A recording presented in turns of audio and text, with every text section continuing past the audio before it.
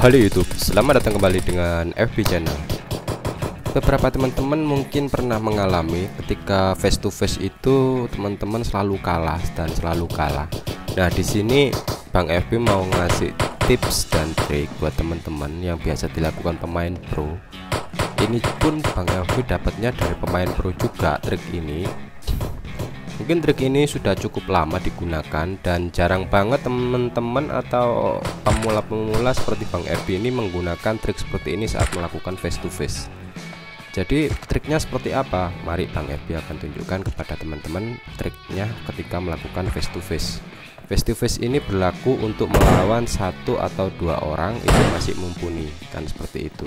Akan tetapi kalau sudah sampai empat orang yang maju ke depan di depan kita pas gitu ya. Jadi face to face ini posisinya itu tanpa ada halangan ya. Tanpa ada halangan. Dalam artian tanpa ada halangan sama sekali di depan kita. Nah seperti ini open close combat uh, uh, open combat gini ya. Jadi nggak ada halangan sama sekali di depan seperti ini dan kita sudah sangat dekat sekali dengan lawan kita. Misalkan kita ambil contoh ini sebagai lawan kita atau kita cari orang gitu ya biar dia oke okay, anggap aja inilah oke okay, seperti ini ya. Nah kita misalkan kita sudah dekat sekali dengan orang ini seperti ini face to face nya apa yang harus kita lakukan ketika kita kaget yang pertama kali itu jangan langsung ditekan tombol fire-nya ya jangan ditekan tombol tembaknya ya. Tapi gunakan ini tombol jongkok lalu eh bukan tombol ngepron lalu diikut dibarengi langsung dengan cepat tombol menembak seperti ini. Nah kita ulangi lagi. Satu dua tiga.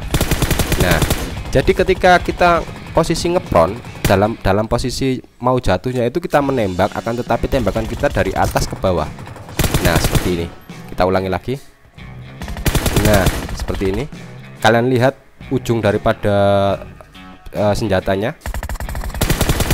Dia menyala ketika di atas sampai ke bawah. Nah seperti itu. Fungsinya ini uh, gunanya untuk apa? Jadi musuh itu langsung kaget dan kalau dikurang begitu sigap bantingan crosshairnya itu pasti akan bingung mengarah ke bawah. Kalaupun mengarah ke bawah dia nggak akan mengarah ke kepala atau headshot ke kita. Palingan mentok itu di bagian pantat sampai ke bawah biasanya itu kenanya dan ini sangat efektif sekali. Ini ngepron sambil menembak nah seperti ini. Ini jarang sekali dipraktekkan. Kalau untuk melawan satu atau dua orang ini sangat efektif. Tapi ya kadangkala kita itu uh, tidak sempat untuk karena satu orang di sini, di sini kita bisa lakukan hal semacam itu. Nah, nah seperti ini ini bisa untuk mengalahkan satu sampai dua orang musuh ketika teman-teman sedang face to face melawan mereka dan seperti itu. Misalkan seperti ini satunya ada di sebelahnya kita langsung lakukan. Nah itu pasti mereka akan kenop dan satunya juga akan kenop kalau satu sampai dua orang.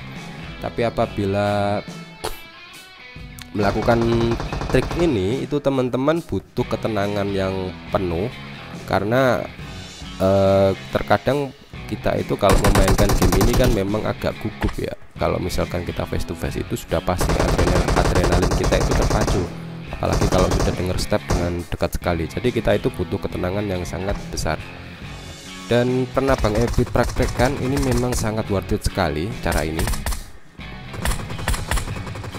Dan sanggup untuk memenangkan ketika face to face melawan musuh 1 sampai dua orang. Tapi kalau di depan kita udah empat orang ya kita kemungkinan kalah pasti karena kita akan terbuka nggak ada halangan. Kalau uh, ada halangan otomatis kita nggak akan gunakan trik itu. Kita gunakan trik keluar masuk keluar masuk TPP TPP seperti itu. Tapi kalau sudah open gini kebuka kayak gini kita bisa gunakan trik ini. Nah sambil nembak sambil ngepron kalau hanya satu sampai dua orang bisa dilakukan dilatih benar-benar dilatih Bang Ebi sendiri pun masih melatihnya dan ini sangat worth it. Karena Bang Ebi lak, uh, lakukan dan benar-benar berhasil untuk to face meskipun uh, ini tapi yang pasti kalian harus merefleksikan ini merefleksikan kecepatan geraknya.